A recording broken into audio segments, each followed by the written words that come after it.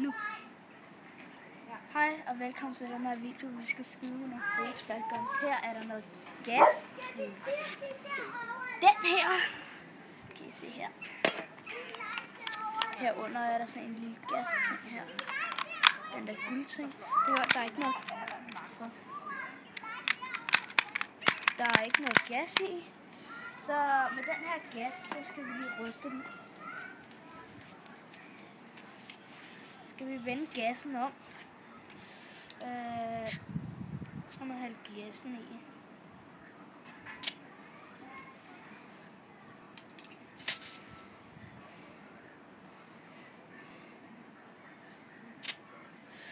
Øh,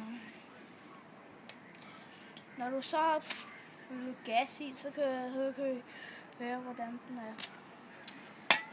Så skal I høre her.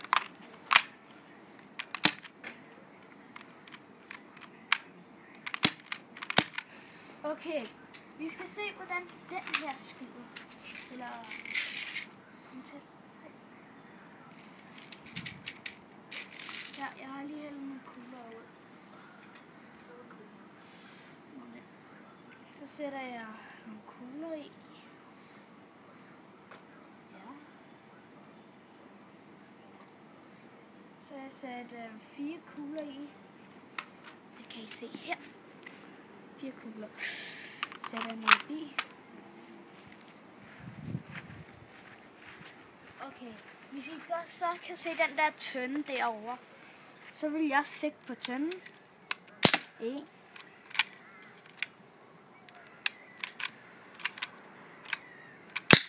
To. Tre. Når så skudt den anden kuglerne, de kan godt drille nogle gange. Så skyder den af fire kugler. Den her. Den er til. Der er sådan. Du kan tænde for den altså her, så lyser den grøn. Du kan skrue op. Så skal det gå sådan, så den lyser på. Og så er der bare sådan en rød over det hele, og man kan ikke se den røde. Herinde står den og kan se på tingene. Og så er den her.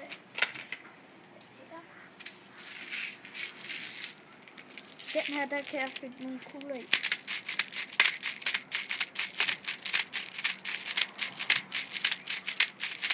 fylder vi så mange kugler i, der kan være.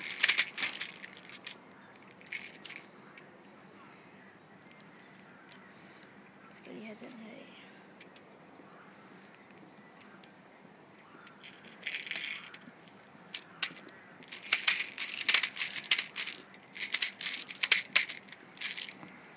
Sådan. Så. Så kan I se her, hvordan jeg lavede den. Putter den ind igennem her. I kan se den der. Det er der, den skyder udefra til den der. Den her lader vi lige. Sådan. Og så kan I se hernede.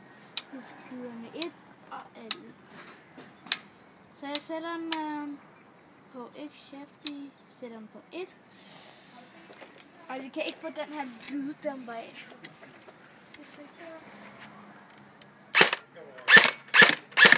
Så jeg holder den faktisk inde. Og nu tager jeg den her.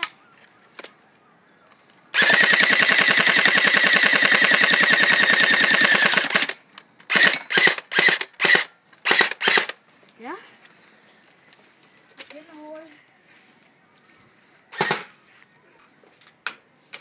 Så den der holder prøvet. Den her, nu skal vi prøve den her sniper.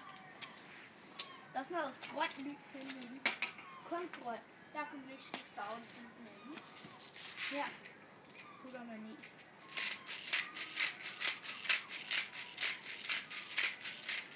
Jeg synes sniperen er den bedste. Når der er grøn lys i den.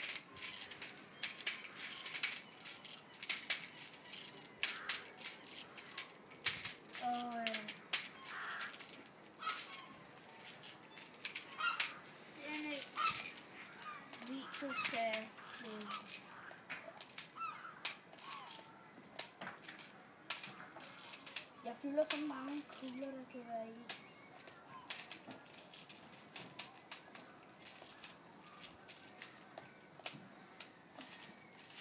Så kan jeg være lidt hvad fire den er. Helt du ikke se den uh, Så øh, Så øh, nu sætter jeg den i.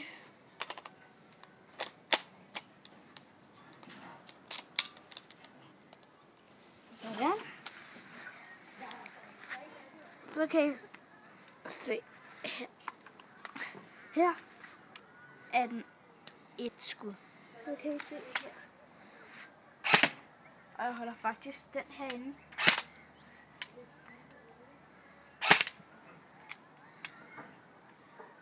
Den her.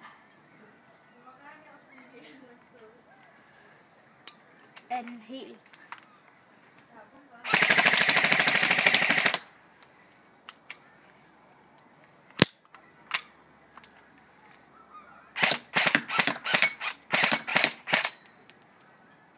Faktisk skyde en gang, selvom den skyder en lille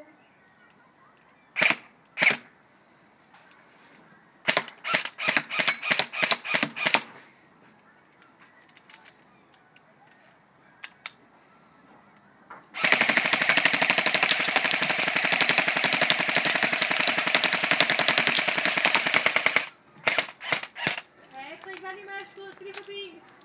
Ikke skyd nu.